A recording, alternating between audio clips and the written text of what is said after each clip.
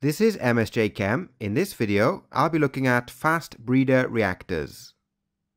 A breeder reactor is a nuclear reactor that generates more fissile material than it consumes.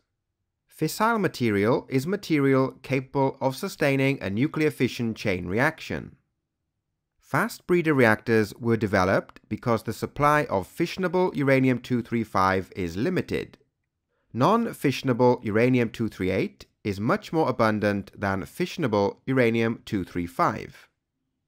Next, we'll have a look at the nuclear reactions that occur in a fast breeder reactor. The first nuclear reaction is neutron capture, in which the nuclei of an atom absorbs a neutron to form a heavier nuclei. In this reaction, we have uranium-238 absorbing a neutron to form uranium-239. Next, the uranium-239 undergoes beta-minus decay to form neptunium-239.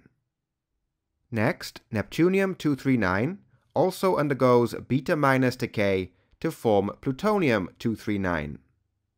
And finally, the plutonium-239 is bombarded by neutrons and undergoes nuclear fission. And the products are barium-145, strontium-93, and two neutrons.